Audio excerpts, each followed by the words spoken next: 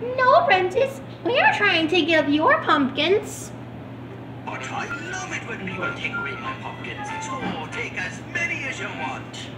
Wow, thanks. But it's too late now. By the time we get back to town, the pumpkin contest will be over. Maybe I can help you.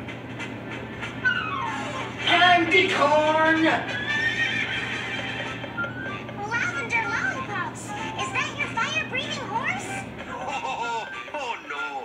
Candy corn doesn't breathe fire.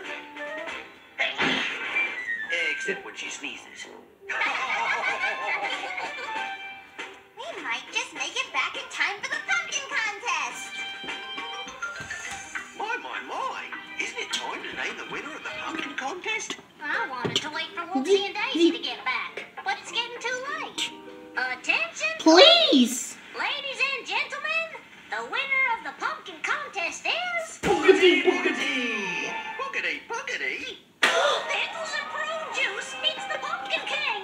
Run for your lives! Ah! No, wait. Is that Wubbzy and Daizy? Well, well, everybody. Don't be afraid. The Pumpkin King just wants to have fun at the Harvest Festival. Well, I guess we know who the winner of the contest is. Is it me? No. Oh, He brought the Pumpkin King himself. Thanks.